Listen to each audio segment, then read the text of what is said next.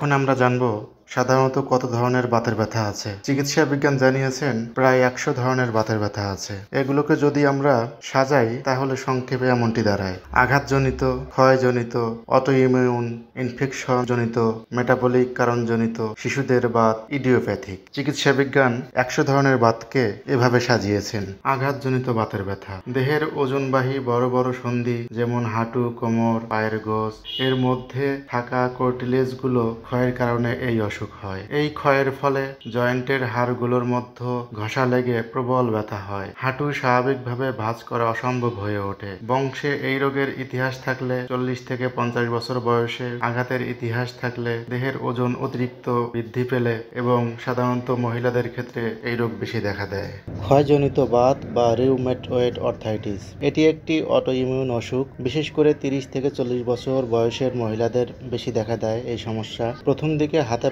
পায়ের ছোট জয়েন্টগুলো পরে কাঁধ, হাঁটু, কোমর আক্রান্ত হয়। জয়েন্ট লাল হয়ে ফুলে ওঠে প্রচণ্ড ব্যথা হয়। ব্যথা সকালের দিকে খুব বাড়ে, পরে হাতের আঙ্গুলিগুলো বেঁকে যায়। সেই সঙ্গে জ্বরও দেখা দেয়। অ্যানিমিয়া, কিডনি হার্ট, চোখ ইত্যাদি অঙ্গের সমস্যা দেখা দেয়। এই সমস্যা হলে রক্ত পরীক্ষার সত্তর শতাংশের ক্ষেত্রে রিউম্যাটয়েড ফ্যাক্টর পজিটিভ হয়। Psoriatic arthritis. এটি সোরিয়াসিস রোগজনিত অর্থাইটিস। চামড়ায় আঁশ ওঠে, নখে গর্ত হয়, ভঙ্গুর নখ সহ গাঁটে গাঁটে ব্যথা দেখা দেয়। এটিও একটি অটো ইমিউন পর্যায়ভুক্ত রোগ। অটো ইমিউন বা অ্যাসকাইলোজিং স্পন্ডিলাইটিস সাধারণত ছেলেদের ক্ষেত্রে পনেরো থেকে পঁচিশ বছর বয়সী ছেলেরা এবং মেয়েরা একটু বেশি বয়সে এই সমস্যায় আক্রান্ত হয়। এটিও এক ধরনের অটো ইমিউন রোগ। সকালে ঘুম থেকে ওঠার পর কোমর, পিঠে অসহ্য যন্ত্রণা হয়। ঘাড়, কোমর নড়ালেই ব্যথা বৃদ্ধি পায়। ধীরে ধীরে কোমর ঝুঁকতে শুরু করে। এই সমস্যায় এক্স রে করলে মেরুদণ্ডকে সাধারণত বাঁশের মতো দেখায়। তাছাড়া রক্তে এইচ এল এ বি সাতাশ জেনেটিক ফ্যাক্টর পজিটিভ হয়। ইনফেকশাস অর্থাইটিস, এটি মূলত দু ধরনের হয়ে থাকে, ব্যাকটেরিয়াল এবং সেপটিক অর্থাইটিস।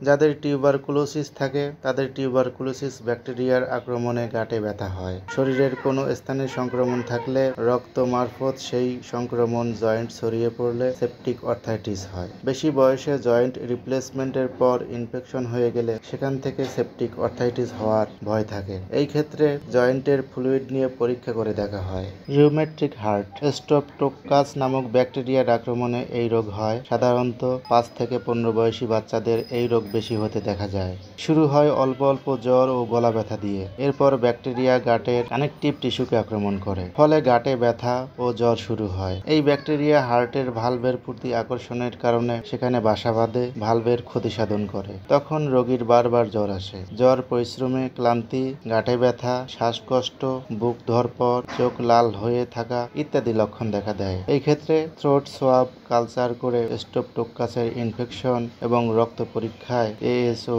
টাইটার বেশি পাওয়া যায়। জুবেনাইল অর্থাইটিস এই সমস্যা সাধারণত বাচ্চাদের গাঁটে গাঁটে ব্যথা দেখা দেয়, ইনফেকশাস বা সেপটিক, অথবা কোনো ইনফেকশন ছাড়াই গাঁটে ব্যথা। যেমন জুবেনাইল রিউম্যাটয়েড অর্থাইটিস কোনো কারণ খুঁজে না পাওয়া গেলে তাকে বলা হয় জুবেনাইল ইডিওপ্যাথিক অর্থাইটিস সমস্যা অনুযায়ী রক্ত পরীক্ষা X ray MRI PET scan bone scan জয়েন্টের ফ্লুইড ইত্যাদি পরীক্ষা করা হয়। এখন আমি বলব বাতের ব্যথা বা অর্থাইটিসের হোমিওপ্যাথির চিকিৎসা সম্পর্কে। হোমিওপ্যাথির মত অনুযায়ী রোগটি সাইকোটিক মায়াজমের অন্তর্ভুক্ত। কোনো না কোনো সময়ে বংশের যে কেউ গনোরিয়ার আক্রান্ত এ রোগটির পিছনে কারণ হিসেবে উল্লেখ করা হয়েছে। এ রোগে সাধারণত যে ধরনের ঔষধ ব্যবহার করা হয় সেই ঔষধ সম্পর্কে আমি এখন বলব। প্রাথমিক পর্যায়ে rhus tox, bryonia, guaiacum, thuja, medorrhinum, syphilinum, ledum pal, pulsatilla, kali bi kali iod কেলিসালফোলিয়া, merc sol ইত্যাদি ঔষধ ব্যবহার হয়ে থাকে। এ ঔষধগুলো একজন হোমিওপ্যাথি ডাক্তারের পরামর্শক্রমে খেলে বাতের ব্যথা সম্পূর্ণরূপে নিরাময় হয়। কিন্তু মোটেও এই ঔষধগুলো একা একা কিনে খাবেন না, এতে হিতে বিপরীত হতে পারে। এ ঔষধগুলো একজন হোমিওপ্যাথি ডাক্তারের পরামর্শক্রমে খেলে বাতের ব্যথা সম্পূর্ণরূপে নিরাময় হয়।